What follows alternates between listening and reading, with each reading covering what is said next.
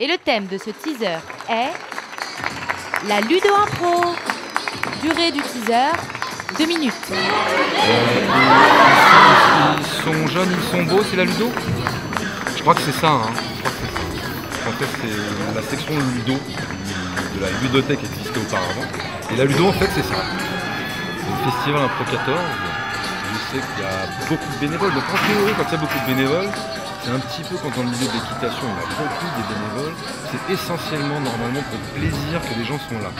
Il n'y a pas d'intérêt particulier. Donc, normalement, il y a une belle effervescence. C'est ce que j'ai pu observer en tant que, que moi spectateur sur Mais deux, c'était pas difficile. Tu, tu vas au plongeoir et tu sautes. Tu sautes. C'est-à-dire que t'oublies tout, tu sautes. T'atterris sur tes pieds et Il n'y a que bien. 20 mètres. Je veux dire, Ouais, enfin,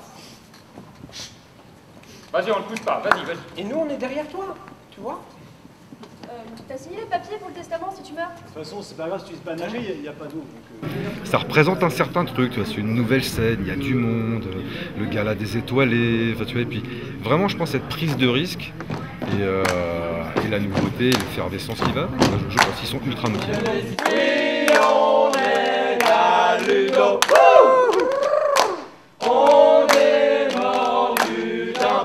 Ce que j'aimerais dire aux autres équipes, c'est euh, euh, c'est que j'aimerais toutes les rencontrer.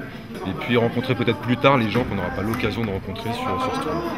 Puis je leur souhaite. euh, voilà, je l'ai adopté avant-hier. Il est charmant.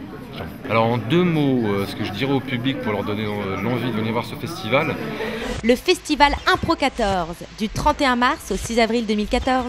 Présenté par Pierre-François Ricard et Casal 14. Toutes les informations sur Facebook ou sur le site Impro 14 www.festimpro14.fr. ce serait dommage de rater un truc pareil.